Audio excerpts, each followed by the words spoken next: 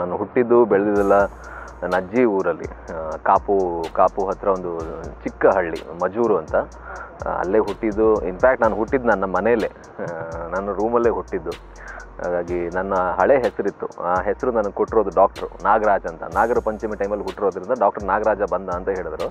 ಹಾಗೆ ಜಾತಕ ಅದಿದೆಲ್ಲ ನೋಡದೇ ಇಟ್ಟಿರುವಂಥ ಹೆಸರಾಗಿರೋದ್ರಿಂದ ಫಿಲ್ಮ್ ಇಂಡಸ್ಟ್ರಿ ಬಂದಾಗ ನಾನು ಪೃಥ್ವಿ ಅಂಬಾರ್ ಅಂತ ಚೇಂಜ್ ಮಾಡಿಕೊಂಡೆ. ಸೊ ಹುಟ್ಟಿದ್ದು, ಬೆಳೆದಿದ್ದು, ಓದಿದ್ದು ಎಲ್ಲ ಉಡುಪಿ ಜಿಲ್ಲೆಯ ಕಾಪುವಲ್ಲಿ. ಸ್ಕೂಲು ದನತೀರ್ಥ ಅಂತ ಆ್ಯಂಡ್ ನಾನು ಡಿಗ್ರಿ ಮಾಡಿದ್ದು ಪೂರ್ಣ ಪ್ರಜ್ಞಾ ಕಾಲೇಜಲ್ಲಿ ಬಿ ಬಿ ಎಂ ಮಾಡಿದೆ. ಅದಾದಮೇಲೆ ಸಿನಿಮಾ ಇಂಡಸ್ಟ್ರಿಗೆ ಹೇಗಾದ್ರು ಮಾಡಿ, ಹೇಗಾದರೂ ಮಾಡಿ ಬರಬೇಕಲ್ಲ ಅಂತ ಹೇಳಿ ಅಂದ್ಕೊಳ್ಳುವಾಗ ಮನೇಲಿ ಹೇಳೋ ಧೈರ್ಯ ಬಂದಿಲ್ಲ. ಹಾಗಾಗಿ ಏನಾದರೂ ಒಂದು ಕನೆಕ್ಷನ್ ಇರೋ ಕೋರ್ಸ್ ತಗೋಬೇಕು ಅಂತ ಹೇಳಿ ಜರ್ನಲಿಸಮ್ ಮಾಡಿದೆ ಮಾಸ್ ಕಮ್ಯುನಿಕೇಷನ್ ಸೊ ಅದು ಮಂಗಳೂರಿನ ಸೆಂಟ್ ಅಲೋಷಿಯಸ್ ಕಾಲೇಜಲ್ಲಿ ಮಾಡಿದ್ದು.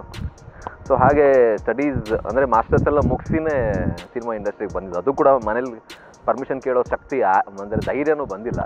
ಹೋಗ್ತಾ ಹೋಗ್ತಾ ಜಾಯ್ನ್ ಆಗಿರುವಂಥ ನಾನು ತುಂಬ ಈ ಕ್ಲಾಸ್ ಮಿಸ್ ಮಾಡ್ತಾ ಇದೆ. ಅಂದರೆ ಕ್ಲಾಸ್ ಹೇಗಾದರೂ ಮಾಡಿ ಯಾವುದಾದ್ರೂ ಒಂದು ವಿಷಯದಲ್ಲಿ ಮಿಸ್ ಮಾಡಿಕೊಂಡು ಬೇರೆ ಕೋ ಕರಿಕ್ಯುಲರ್ ಆ್ಯಕ್ಟಿವಿಟಿ ಪಠ್ಯೇತರ ಚಟುವಟಿಕೆಗೆ ಹೋಗಬೇಕು ಅನ್ನೋದು ಮಾತ್ರ ಇದ್ದಿದ್ದು. ಸೊ ಅದರಲ್ಲಿ ಸ್ಪೋರ್ಟ್ಸು ಇತ್ತು ಸ್ಕೌಟ್ಸ್ ಆ್ಯಂಡ್ ಗೈಡ್ಸು ಅದು ಇದು. ಅಂದರೆ, ಏನೇ ಪಠ್ಯೇತರ ಚಟುವಟಿಕೆ ಬ್ಯಾಂಡ್ ಬಾರಿಸೋದು. ಸೊ ಟೋಟಲಿ ಕ್ಲಾಸ್ ಮಿಸ್ ಮಾಡಿಕೊಂಡು ಎಲ್ಲಾದರೂ ಬೇರೆ ಕಡೆ ಹೋಗೋ ಒಂದು ಹವ್ಯಾಸ ನನಗೆ ಇದ್ದಿದ್ದರಿಂದ ಪ್ರಾಯಶಃ ಬೇರೆ ಎಲ್ಲ, ಅಂದರೆ ಡ್ಯಾನ್ಸ್ ಆಗಿರಲಿ ಮಾರ್ಷಲ್ ಆರ್ಟ್ಸ್ ಆಗಿರಲಿ ಸ್ಪೋರ್ಟ್ಸಲ್ಲಾಗಿರಲಿ ಎಲ್ಲದರಲ್ಲಿ ಇದ್ದಿದ್ದರಿಂದ ಈಗ ಸಿನಿಮಾಗೆ ಹೆಲ್ಪ್ ಆಗ್ತಾ ಇದೆ. ಅದು ಬಿಟ್ಟು ಚಿಕ್ಕವನಿರುವಾಗ ನನಗೆ ಯಾವುದೇ ಅಂತ ಆ ಆ ಥರ ಆಸೆಗಳಿರಲಿಲ್ಲ ಬಿಕಾಸ್ ನಮ್ಮ ಫ್ಯಾಮಿಲಿಲೂ ಯಾರು ಇರಲಿಲ್ಲ ಅಂಥ ಬ್ಯಾಕ್ಗ್ರೌಂಡು ಇರಲಿಲ್ಲ.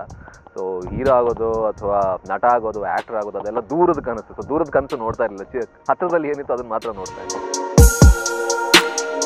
ಮತ್ತಷ್ಟು ಇಂಥದ್ದೇ ಇಂಟ್ರೆಸ್ಟಿಂಗ್ ಸಂಗತಿಗಳಿಗಾಗಿ ನಮ್ಮ ಚಾನೆಲ್ ಸಬ್ಸ್ಕ್ರೈಬ್ ಮಾಡಿ ಬೆಲ್ ಐಕಾನ್ ಪ್ರೆಸ್ ಮಾಡಿ.